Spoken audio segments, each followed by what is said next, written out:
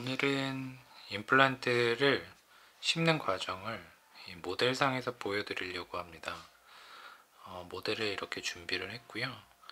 치아가 다 있는 모형이 아닌 음, 군데군데 이렇게 빠져 있는 모형을 준비했습니다.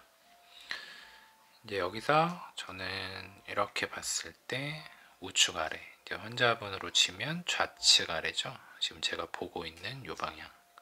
이 어금니 쪽에 두 개의 임플란트를 심는 모습을 보여드리도록 하겠습니다. 물론 이제 모델에다 하는 수술이긴 하지만 어, 실제 과정에서 일어나는 기구와 이런 장비들을 이용해서 어, 실제 어떤 식으로 시술이 이루어지는지 알 수 있게 해주는 그런 영상이라 보시면 되겠습니다.